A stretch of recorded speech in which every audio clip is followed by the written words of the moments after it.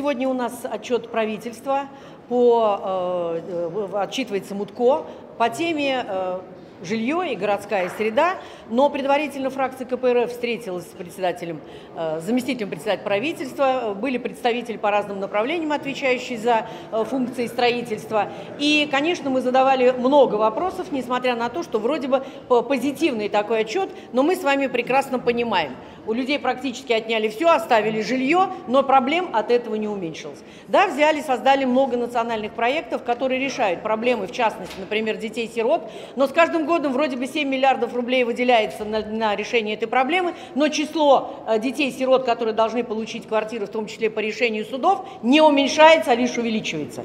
Мы говорили об обманутых дольщиках. Да, были приняты масса законов, Наверное, в то время предполагалось, что они будут решать эту проблему, но создали еще дополнительные э, обманутых дольщиков. Сейчас вносим коррективы, создали э, фонд специальный, э, Дом РФ, который поможет решить проблему обманутых дольщиков, достроить дома. Вчера были приняты поправки для того, чтобы можно было выплатить кому-то компенсации. Мы говорили э, на нашей фракции с Мутко о том, что э, нужно помогать строить там жилье, где техногенные катастрофы, в частности наводнения или пожары, э, связывали это с Иркутской области. По, э, как бы вопросы решаются, но пока на нулевом цикле это не очень заметно. Как только начнут строиться дома, тогда пойдет дело быстрее. Мы говорили о том, что необходимо снизить ипотечную э, ставку на строительство жилья, но по-прежнему остается актуальной проблемой тех граждан, которые много десятилетий стоят на очереди и никак не могут получить свое социальное жилье. Речь идет о льготниках.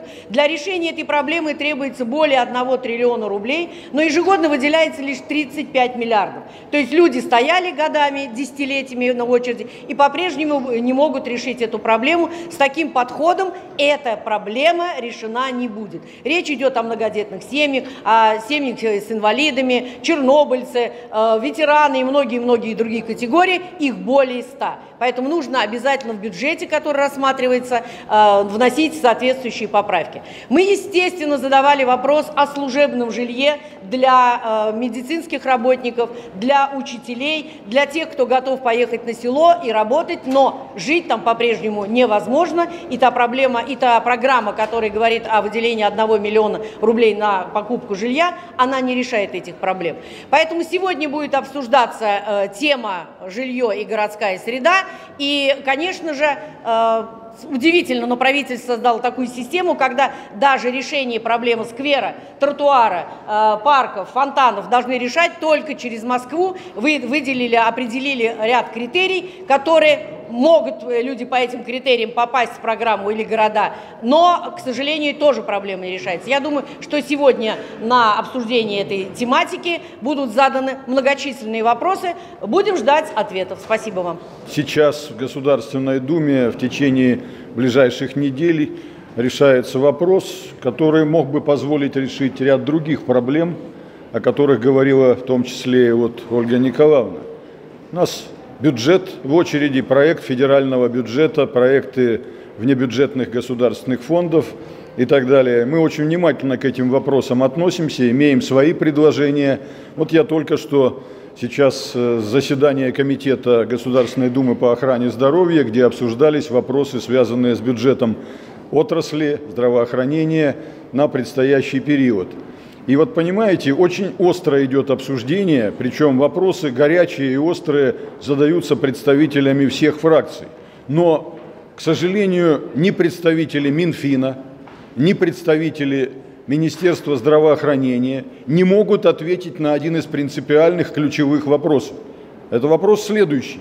Почему не выполняется поручение президента Российской Федерации, которое обозначено в послании в 2018 году, что финансирование из всех государственных источников отрасли здравоохранения должно быть не менее 4% с 2019 по 2024 год. 2019 год уже заканчивается по существу. Здесь будет 3,4 всего-навсего от объемов валового внутреннего продукта хотя президент поручил не менее четырех. В 2018 год только что заслушали отчет об исполнении. Три одна. Вчера задавали вопрос на фракции э, вице-премьеру э, Антон Германовичу Силуанову, почему такая ситуация. Он вместо того, чтобы объяснить почему, опять воспроизвел нам эти цифры. 3,1 18, 3,4 будет по прогнозу 19, что на следующий год 3,6. Сейчас задавали вопрос э, только что представителям Минфина, почему не выполняете? Они говорят, ну мы же постепенно выполняем, а ну-ка посмотрим, что дальше. А дальше на 2021 год 3,5, а на 2022 3,4. А где же выполнение?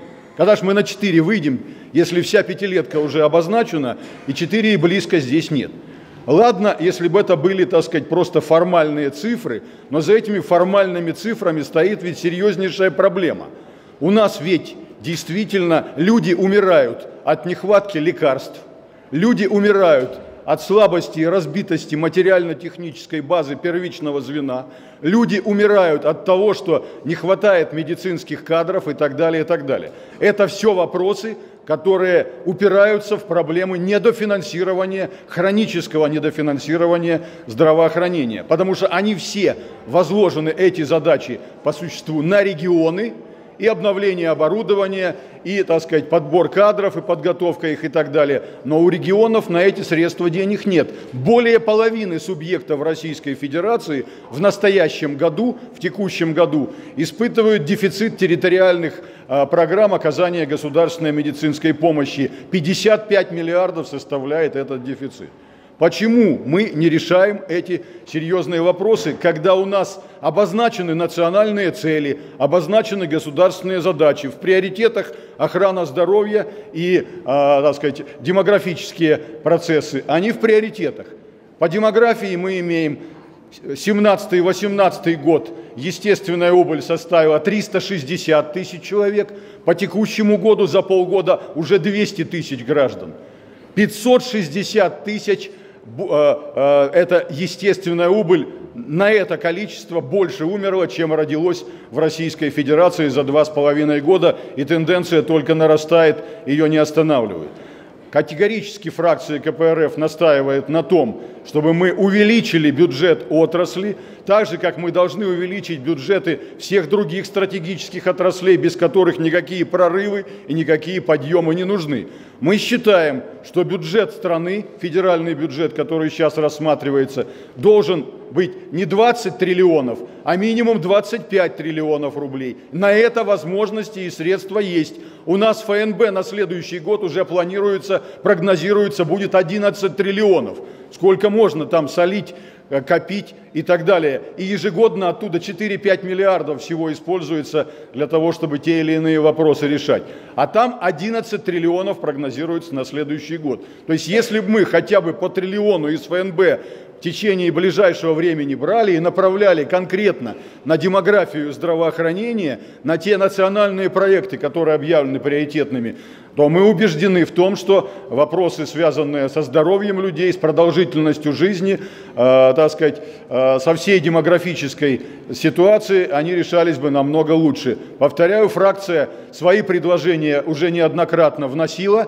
Мы внесли добрый десяток законопроектов, которые позволяют эти вопросы решать, и будем настаивать на их решении сейчас при рассмотрении и принятии федерального бюджета и бюджетов негосударственных, э, государственных внебюджетных фондов.